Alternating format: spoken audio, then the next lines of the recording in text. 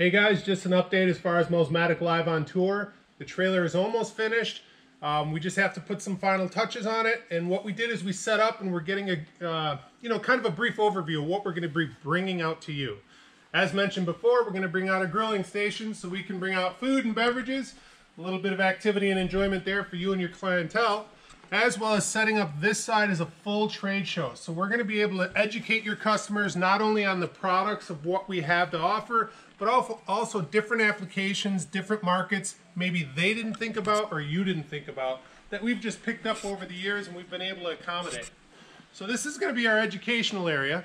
We're also setting it up over here so you're gonna have your hands on. So we've outfitted the trailer with an eight gallon a minute, 3000 PSI water system as well as power so we can run the in-bay dryers, car wash bay accessories, anything from the, the hose all the way to the boom to the vacuum to the dryers. That being said, we're going to do all of our high pressure accessory items like surface cleaners, undercarriage cleaners, with Venturi, without Venturi.